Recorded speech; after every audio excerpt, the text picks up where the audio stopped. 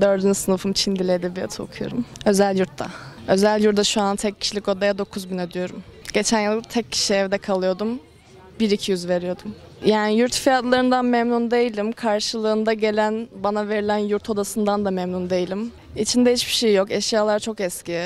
Hiçbir şekilde göze hitap etmiyor. Onun dışında giderden çok fazla su geliyor. Ayrıca yurt olması gereken yerde değil. Sürekli trafik sorunu var. Trafik sesleri geliyor bana. Yurdum Cumhuriyet Meydanı'nda. Öğrenciler yani aileleri zorlanır. Tabii ki de zorlanır. Dört kardeşi olanlar var. Zorlanırlar. Erciyes Üniversitesi İletişim Fakültesi Radyo, Televizyon ve Sinema okuyorum. Anayurt bölgesindeyim. Geçen sene de yurttaydım.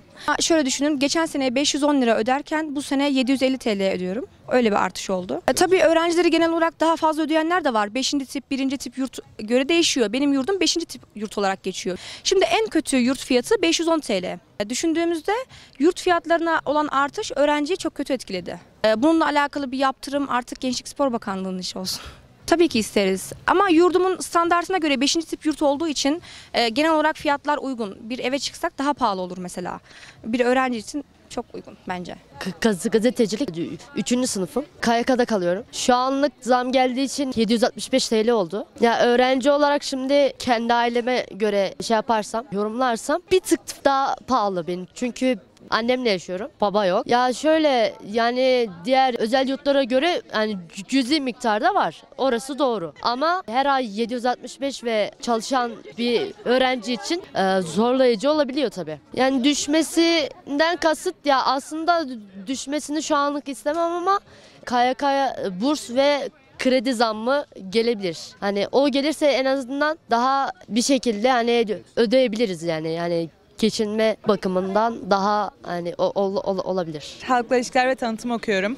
Birinci sınıfım. Adana'dan geldim buraya. Ya şu an işte dört, dördüncü tipte kalıyorum. Bazı odalar dört kişilik, ben dört kişilikte kalıyorum. Yani yeterli benim için gayet güzel, beklediğimden daha iyi. Ama başka yurtlara baktığımda hani onlar daha çok daha düşük seviyede var yani. Dördüncü tipteyip 720 lira ödüyorum. Yani şu an daha yeni başladım o yüzden yemekler falan tam görmedim.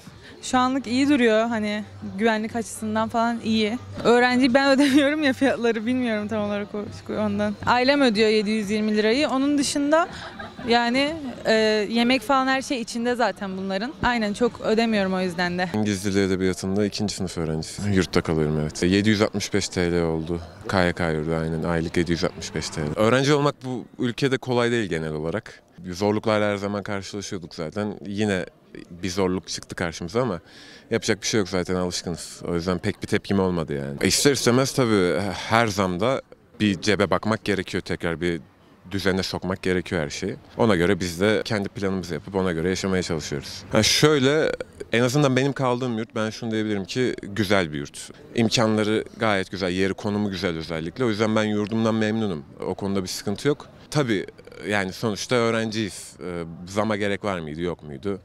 Onu bilemiyorum aynen tartışılır.